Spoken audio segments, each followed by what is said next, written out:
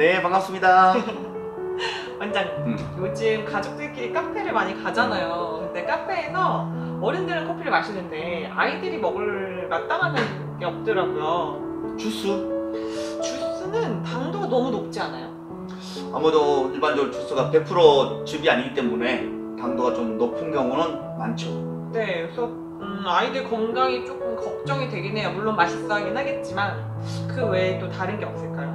아 이제 그 외에도 우리나라에서 카페에서 음료 중에 또 판매가 많이 되는 게 또 핫초코 이 음, 메뉴가. 상당히 많이 판매가 되는데 네. 핫초코 또한 사실은 뭐 당도는 높겠죠. 맞아요. 그렇기 때문에 어, 저는 이 카카오 라떼를 추천 좀 하고 싶어요. 카카오 라떼요? 네. 카카오는 이 카카오는 100% 카카오를 이제 볶아서 갈아놓은 건데 어... 얘는 뒤에 당도가 없어요. 네. 그래서 또 당도가 없다면 또 우리 어린 친구들이 안 먹겠죠. 네. 그래서 사탕수수, 음... 사탕수수를 넣어서 만들면 당도도 떨이고 떨어뜨리고 칼로리도 낮게 해서 섬유소와 미네랄을 또 많이 섭취할 수 있는 어쩌나 물론 이것 또한 많이 먹으면 다 똑같겠지만 그래도 먹, 먹, 먹는다면 또 즐겁게 먹을 수 있다면 이런 카카오 라떼를 추천하고 싶습니다.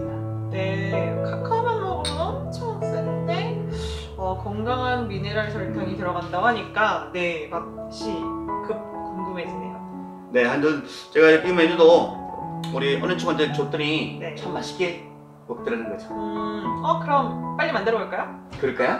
네, 지금부터 만들도록 하겠습니다.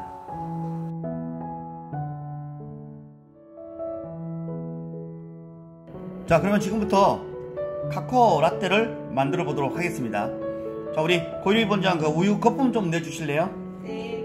네. 자, 먼저 카카오 분말을 제가 이렇게 다른 용기에다가 담아 담고 있습니다.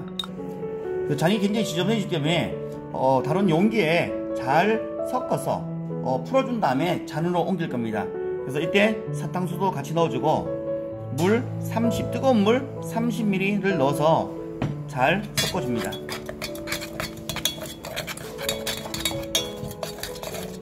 여러분들이 이렇게 어, 메뉴가 만들어지는 과정을 아시고 주문을 하신다면 아 어떤 과정에서 만들어지는구나 라는 걸 아시면 그 음료를 마실 때 더 즐겁게 마실 수가 있을 겁니다. 어, 매장에서는 다 이런 방법으로 어, 음료를 제조를 하고 있습니다. 자 잘 혼합된 카카오를 이제 잔에다가 부어줍니다. 그 다음에 우유 거품을 이제 부어서 어, 라떼를 만들 라떼를 만드는 방법으로 우유를 부어주면 아름다운 카카오 라떼가 만들어집니다.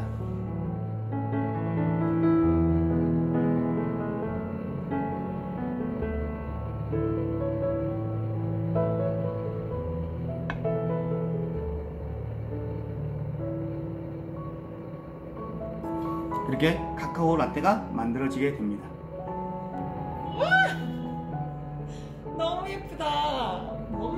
색스러운데요? 아, 오늘, 오늘따라 이렇게 나뭇잎이 잘 그려졌네요.